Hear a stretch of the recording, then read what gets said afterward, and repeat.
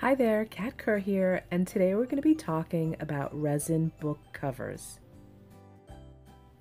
Now, I'll admit, when I first spotted these silicone book molds, I thought, man, there's so much possibility here. Today, we're going to be using the smaller mold, and I kind of got carried away. The plan was just to make one book cover, but as you'll see, I made a little bit more than that. So for this first cover, we're using Amazing Casting Resin and Resin Obsession Opaque Resin Dyes.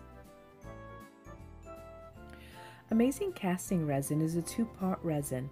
You need a one-to-one -one ratio and it cures completely white in about 15 minutes. But if you want to add a little bit of color, just add some to part A of the resin, mix it thoroughly, and then add part B and mix it together. And then you're ready to pour it into your mold.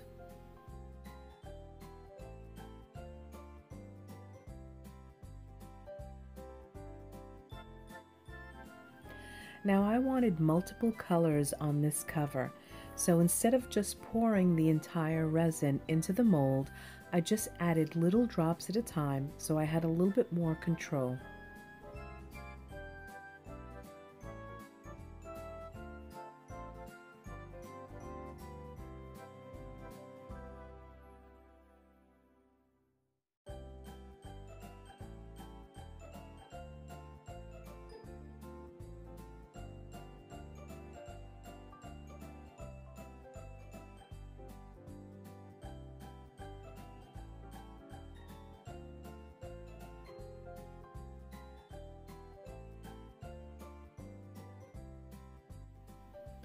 Next, I printed up an image onto computer graphics paper, and then I removed the backing and placed it onto the cover.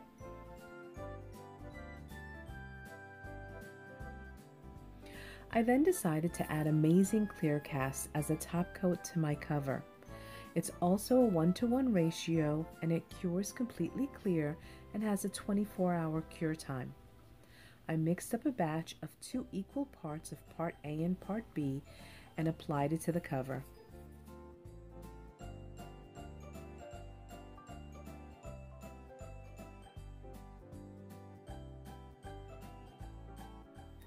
The second book cover was inspired by this resin piece I made over a year ago.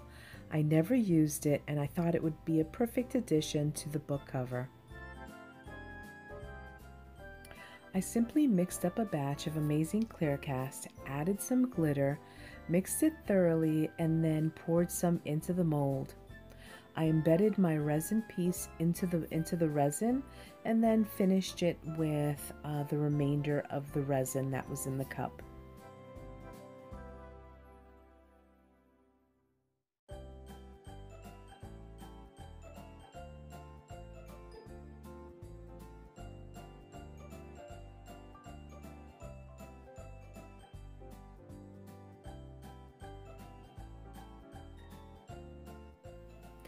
Book cover number three is all about crayons. I saved everything from my kids, including a whole box full of crayons. So I decided to cut some up and place them into the mold and I mixed up a batch of amazing clear cast and poured it on top of the crayons carefully so that it wouldn't spill over.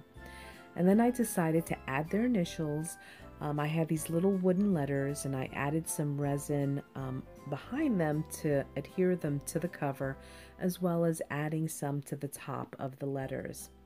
And then I finished the cover off by adding a little bit of sparkle and then I let it cure 24 hours.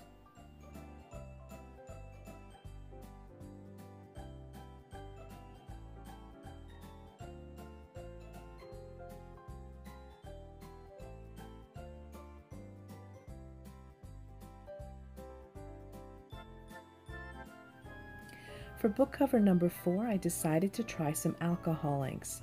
I picked an assortment of colors, but first I needed to add a layer of clear cast resin to the mold. And then I just started adding color.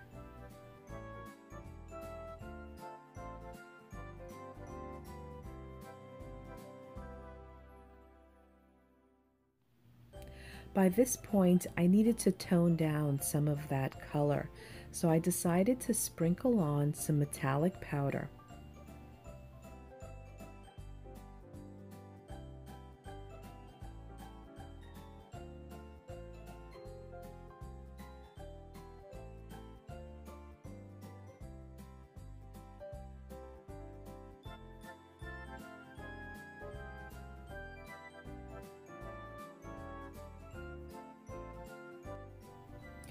Book cover number five has to be my favorite.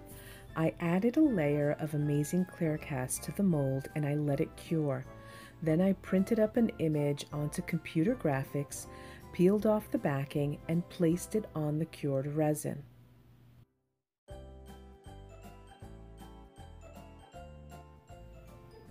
Next, I burnish the image with a popsicle stick just to make sure that it's completely flat. In my final um, layer of resin, I decided to add a transparent dye um, to the resin. I still wanted to see the image. I didn't want to completely cover it up. So I just added a little bit of the transparent orange um, into the resin, mixed it together, and then poured it into the mold.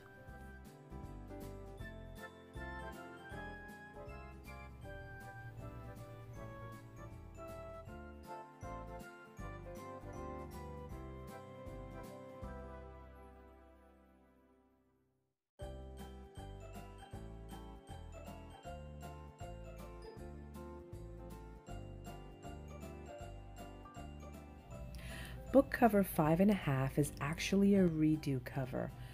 This cover, um, I wasn't happy with it. I didn't like the color combination. And so what I decided to do was I had some leftover resin from the transparent orange um, left. And I added some pearlescent powder to it. And then I applied it to the top of this cover, added some embellishments, and I love the way it came out.